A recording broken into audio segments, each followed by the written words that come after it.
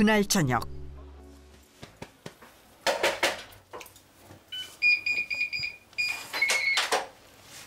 엄마, 뭐야? 엄마 또 우리 집 왔어? 어, 갔지.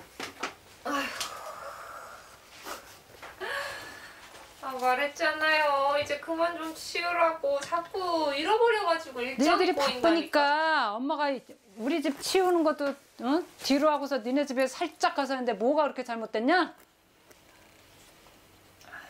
그럼 앞으로 계속 이렇게 올 거야? 와서 계속 치우고 싶고 이런 거. 안 가, 안 가, 들어서 안 가. 안 갈게.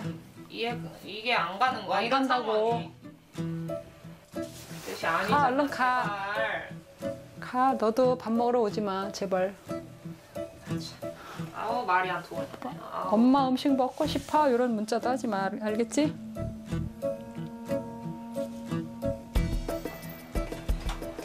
넘어져, 가다가. 가다 넘어져.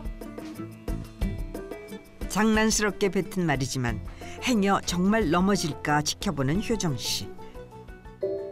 서운한 마음은 어쩔 수 없나 봅니다.